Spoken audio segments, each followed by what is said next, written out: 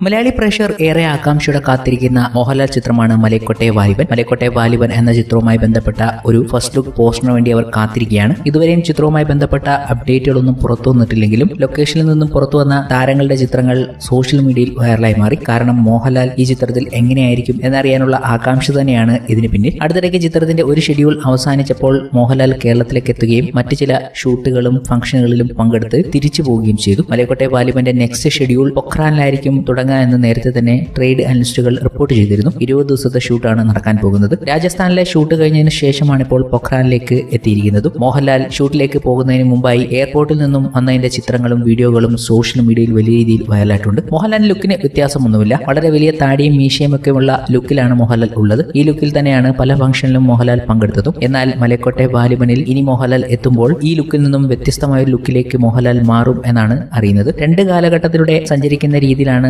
മലക്കോട്ടെ ബാലിബന്റെ കഥ പോകുന്നത് എന്ന സൂചനകൾ പുറത്തു വന്നിരുന്നു. അങ്ങനെയെങ്കിൽ മോഹൻലാലിന് മറ്റൊരു ലുക്ക് കൂടി ഈ ചിത്രത്തിൽ ഉണ്ടാകും എന്ന് തന്നെയാണ് അറിയുന്നത്. പലരും സംശയത്തോടെ സോഷ്യൽ മീഡിയയിൽ വന്ന് ചോദിക്കുന്നുണ്ട് മോഹൻലാലിന്റെ ഭാഗങ്ങൾ ഇതുവരെയും മലക്കോട്ടെ ബാലിബലിൽ ചിത്രീകരിച്ചില്ലേ? എന്നത്. കാരണം മോഹൻലാലിന്റെ ലുക്കിന് വ്യത്യാസമൊന്നും വന്നില്ലല്ലോ ഇതേ ലുക്കിൽ തന്നെയാണോ ഈ ചിത്രത്തിൽ അഭിനയിക്കുന്നത് എന്നതാണ്. മോഹൻലാൽ ഒരു ഗുസ്തിക്കാരനായി ഈ ചിത്രത്തിൽ എത്തുന്നു എന്നാണ് റിപ്പോർട്ടുകൾ. അങ്ങനെയെങ്കിൽ രണ്ട് ലുക്കിൽ മോഹൻലാലിനെ കാണാം എന്നതാണ് പറയുന്നത്. ഒരു ലുക്ക് നമ്മളിപ്പോൾ കാണുന്ന ലുക്കിൽ തന്നെയായിരിക്കും മറ്റൊന്ന് ഒരു വ്യത്യസ്തമായ ലുക്കായിരിക്കും എന്നാണ് സൂചനകൾ. അടുത്തിടയ്ക്കാണ് ലിജു ജോസ് പെല്ലിശ്ശേരി സംവിധാനം ചെയ്ത മമ്മൂട്ടി ആദ്യമായി ഒന്നിച്ച നൻപകൽ നേരത്തെ മയക്കം എന്ന ചിത്രം ഒ ടി ടി പ്ലാറ്റ്ഫോമിൽ റിലീസായത്. നിരവധി ആൾക്കാരുടെ അഭിപ്രായങ്ങളാണ് ഇപ്പോൾ സോഷ്യൽ മീഡിയയിൽ എത്തിയതും ഗംഭീരമായ ഒരു ചിത്രമാണ് മമ്മൂട്ടിയുടെ അഭിനയം. അതിഗംഭീരമായിരിക്കുന്നു എന്ന രീതിയിലുള്ള അവരുടെ ഡീറ്റെയിൽ റിപ്പോർട്ടുകൾ റിവ്യൂകൾ പുറത്തു വന്നു ഇവരെല്ലാം മമ്മൂട്ടിയുടെ ഈ ചിത്രത്തെക്കുറിച്ച് പറയുമ്പോഴും ഒരു കാര്യം കൂടി അവർ എടുത്തു സൂചിപ്പിക്കുന്നു. വെയിറ്റിംഗ് ഫോർ മലേക്കോട്ടെ വാലിബൻ എന്നത്. ഏറ്റവും ആകാംക്ഷ അതിലിരട്ടി കാണാൻ ആഗ്രഹിക്കുന്നത് മോഹൻലാലിനെ ലിജോ ജോസ് പല്ലിശ്ശേരി എങ്ങനെ അവതരിപ്പിക്കുന്നു എന്നതാണ്. അത് എന്തോ മലയാളികൾക്ക് ഒരു പ്രത്യേക രീതിയിലുള്ള ആകാംക്ഷ